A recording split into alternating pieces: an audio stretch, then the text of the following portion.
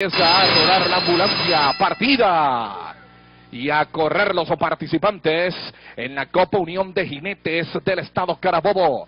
De inmediato el caballo Blade Horse toma el comando de la carrera. Disparado Blade Horse coloca un cuerpo y medio hacia el segundo Prince Emperor por el lado interior y viene presionando ya a Blade Horse y se vienen cabeza a cabeza en tremendo duelo ya en la Copa Unión de Jinetes del Estado Carabobo. A ocho cuerpos hacia el tercero magistral. A la par de este viene corriendo Capitán Clay muy lejos. Para el quinto puesto aparece tío Rubén con Prince Champion a Barrio Fugaz.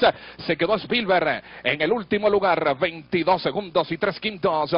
El primer cuarto de milla, Prince Emperor ya domina claramente la copa, coloca un cuerpo, dos cuerpos, tres cuerpos hacia el segundo Blade Horse.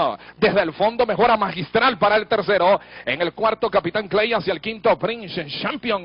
Ingresan en la recta decisiva, la recta de las tribunas. Magistral, corre mucho.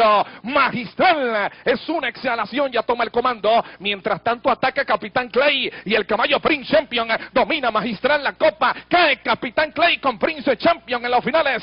Sin embargo, domina magistral. Magistral al frente. Capitán Clay para el segundo Prince Champion. Para el tercero ganó el uno magistral la copa.